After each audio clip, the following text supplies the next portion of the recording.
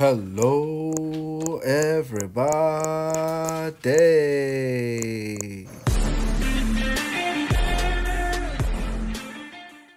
Welcome. Today, we will learn how to make a three-way Venn diagram in Google Docs. Let's start with a little title here. And now we can insert drawing new to allow us to draw some Venn diagram circles. Draw a circle, just like this. Move it over. And now change the color. We don't want a solid color. We want transparent. That makes it see-through. Let me move it over and make the line thicker. Oh yes, more visible now. Move it just right. Now I want to copy this circle and paste it right here.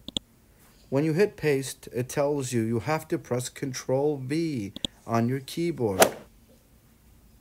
Now that I have two, I can move them around and Control V again gives me a gives me a third circle that I can move around as well.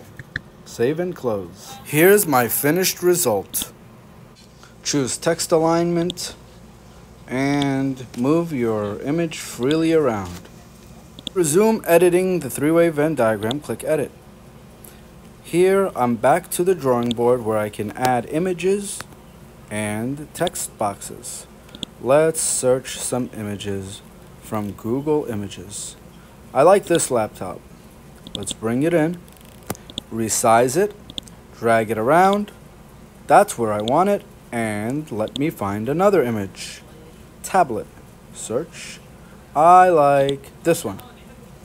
Double click, and here it is. Resize that tablet.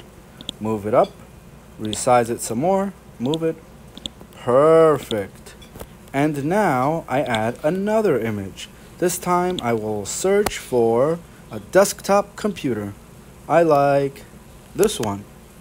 Double click or hit save. I resize this one too. Move it around. I want it here. A text box now. Let's make text boxes all over these Venn diagram circles. Tablet, I can align my text and make it centered so it fits nicely in the center of the text box. I'll move it here and now I will manually create a text box for each item of text that I want. I will also edit settings for those text boxes as I see fit. I can still move pictures around and one more text box for desktop Let's move it on over here. There we go. Make sure all the alignment is to your liking. Another text box in the center now where I can put my first intersecting information. All of these devices play videos and connect to the internet. This device has a touchscreen and is ultra portable. This, the laptop, folds in half, has a physical keyboard. The desktop's unique discerning characteristics are that, that it has powerful specs, and really large screens. It's also upgradable. Hmm. So fill in your three-way Venn diagrams as you please.